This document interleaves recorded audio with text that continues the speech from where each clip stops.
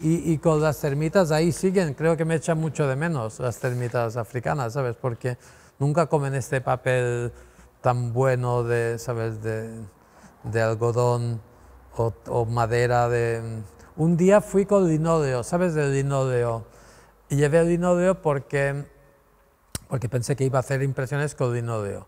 Y entonces, mmm, mi casa en el País de Gon hay termitas, pero como eran muchos linóleos, busqué un lugar en una estepa, una especie de desierto que hay muchas termiteras, y ahí puse los linóleos. Es un sitio realmente, parece de un cuento de Juan Rufo, ¿sabes? De, que no, parece que no haya vida humana, ni, ni siquiera que la termita debe ser lo único que vive ahí, o, o, tal vez algo, un escorpión que se come la termita, o como mucho.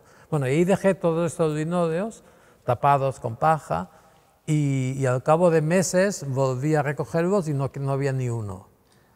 Y, y estábamos buscando con Amo, que era mi, mi, mi, hijo adoptivo, digamos, y ayudante y cómplice y todo eso, y nos, y, ¿y dónde estarán? Y caminando, caminando, encontramos un chico y nos llevó al pequeño poblado y dijo, tenéis que saludar al chef de village. Y el chef de village viene a una cabaña con el suelo con todo el vino. y entonces, no, nada, lo saludé, tomamos un té y me despedí. Y dije, bonito suelo, me dijo, sí, es increíble que lo hemos encontrado por aquí en mitad del campo. Alguien lo tiró por aquí.